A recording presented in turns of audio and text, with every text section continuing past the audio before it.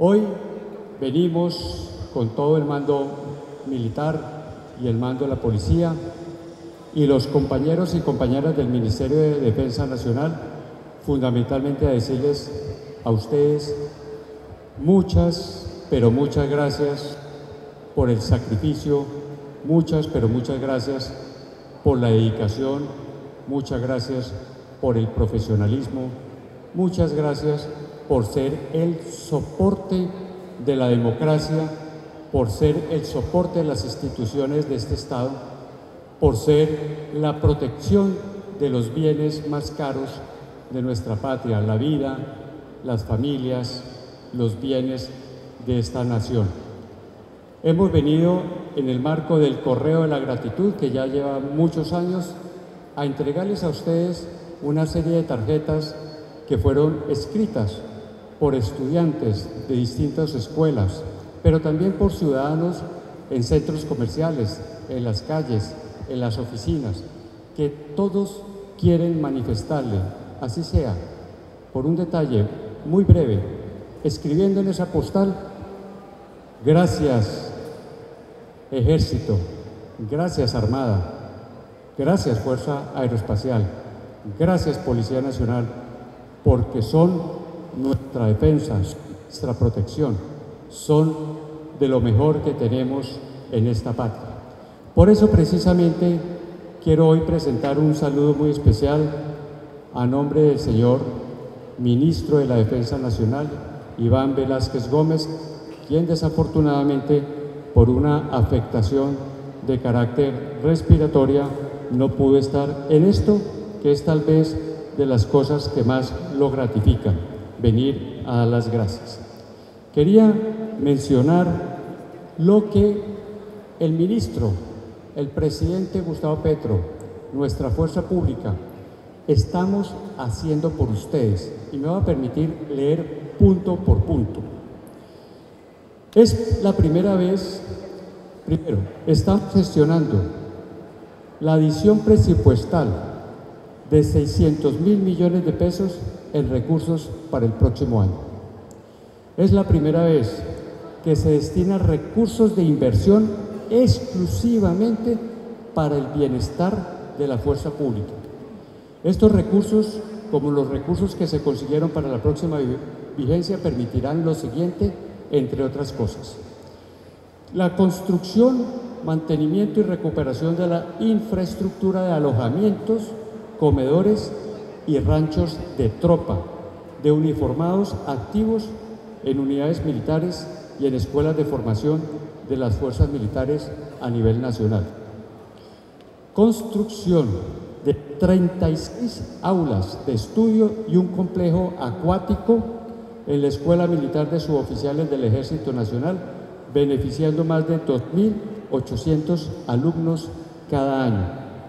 La construcción de tres edificios para alojar a más de mil soldados profesionales en formación y mejorar las condiciones de alojamiento para las mujeres que inician esta importante, bella y valerosa profesión.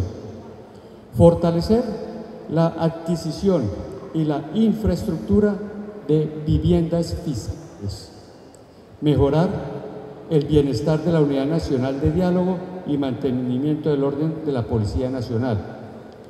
Que ustedes, soldados e infantes y agentes y patrulleros, puedan tener sus propios centros recreacionales a nivel nacional. Por eso iniciaremos el año entrante la construcción de un centro recreacional en el centro del, París, del país y esperamos construir muchos más a nivel nacional.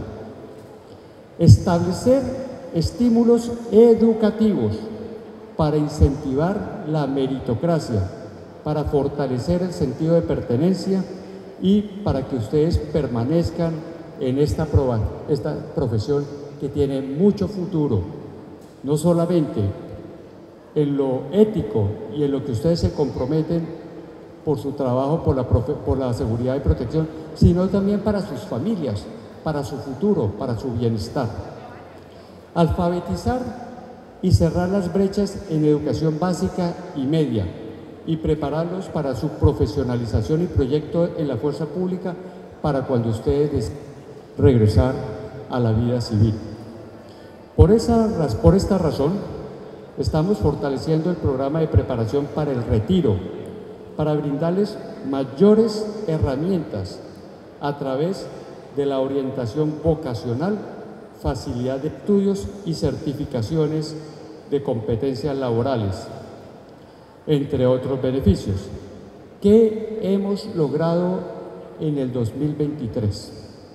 Aumentamos la partida diaria de alimentación para los soldados y policías, incrementando en más de un 57% la partida ordinaria.